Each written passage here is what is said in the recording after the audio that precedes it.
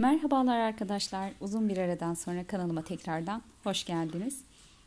Bu videomda e, önceki videolarımda e, sarmaşıktan dal ve yaprağından çoğaltım yapmıştım.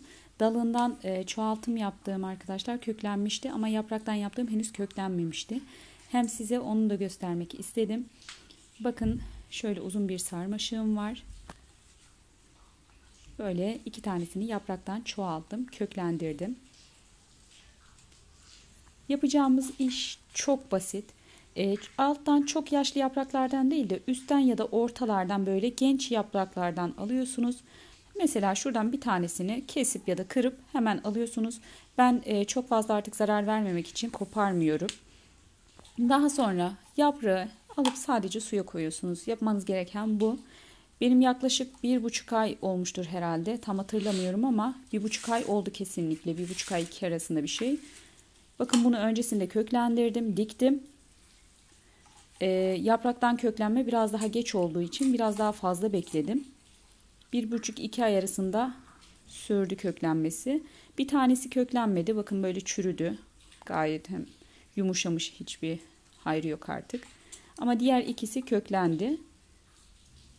Yaprağı da hem böyle sert yani çürüme diye gayet belli. Sağlıklı kaldı. Bakın bunun yaprağı çok yumuşak.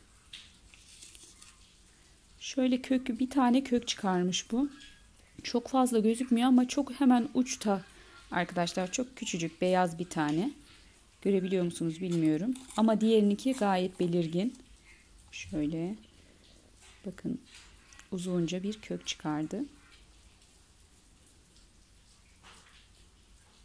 Artık köklendikten sonra bunu toprağa dikeceğim.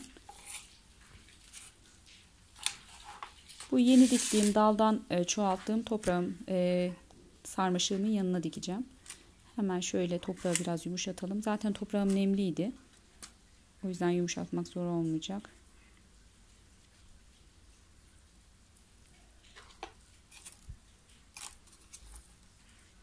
Çok fazla köklenmiş olanı bu saksıya dikeceğim. Diğerinin biraz daha köklenmesini bekleyeceğim.